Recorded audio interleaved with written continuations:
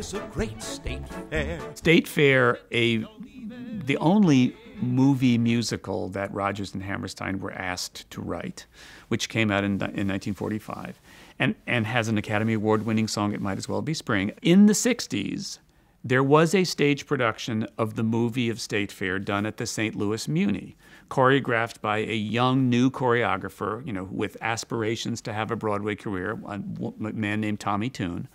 Um, but it was done at, on the stage of the St. Louis Muny, which is vast and large. And it wasn't deemed a huge success. So it kind of went into the drawer with other uh, attempts of mostly Rodgers and Hart shows. And then the idea came up in, in the 90s to try again. And, and, it actually came up with a guy who was working for us, Tom Briggs.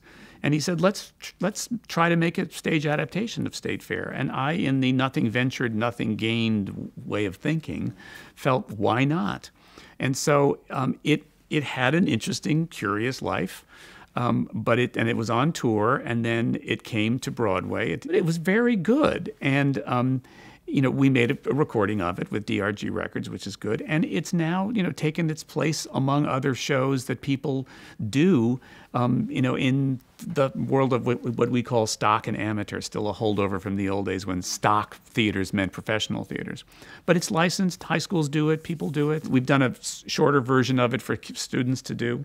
So you know, it's it's it's a lovely it's a lovely show. It has a couple of songs that we pulled out of the trunk, the small Rodgers and Hammerstein trunk, a couple of which were in Pipe Dream. And when Pipe Dream was done last year, I hoped nobody would take us to task for borrowing a couple of Pipe Dream songs.